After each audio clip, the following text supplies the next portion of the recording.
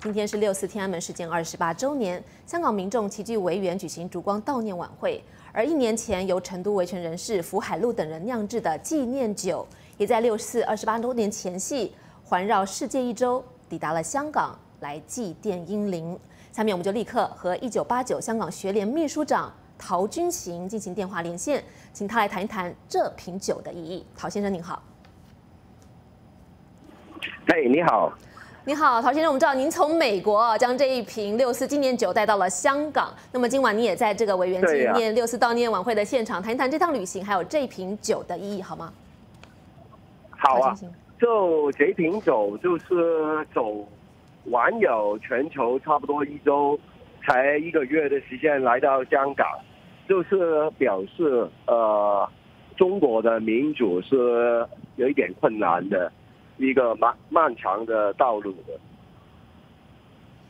好的，那么我们也知道说这瓶酒啊，它有独特的意义，而这瓶酒酿制的人居然在中国会被起诉以这个煽动颠覆国家政权罪，这件事情本身啊，就引起大家的这个注意。跟我们多谈一谈这瓶酒啊，它给大家一个什么样的联想和意义，好吗？还有它目前在香港的一个情况，是不是正在展出，或今晚可能会成为一个纪念晚会的一个焦点呢？陶先生，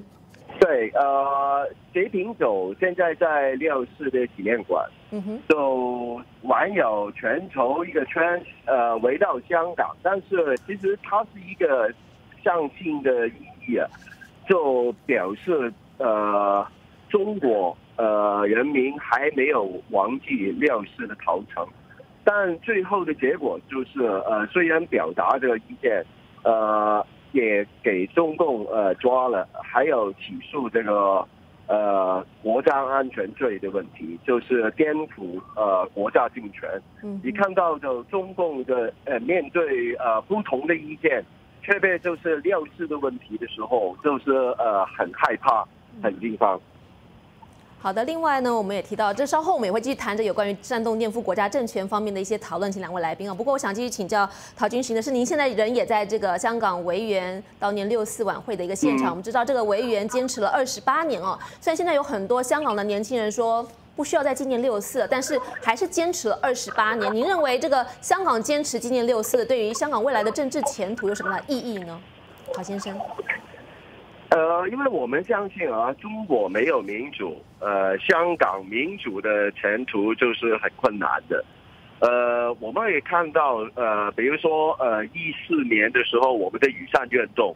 呃，虽然我们在香港抗争了七十九天，但是一天中国没有民主的话，我们香港的民主也没有好的下场了。所以我我相信啊，香港。呃，虽然我们呃很多人都不同意，但是事实上它是中国一部分。